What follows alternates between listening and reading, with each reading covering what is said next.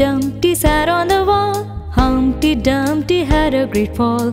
All the king's horses and all the king's men couldn't put Humpty together again.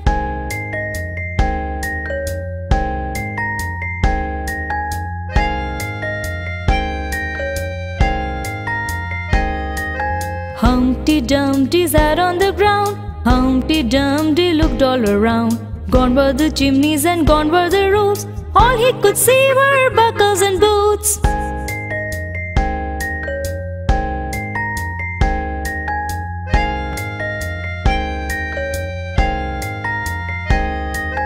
Humpty Dumpty counted to ten.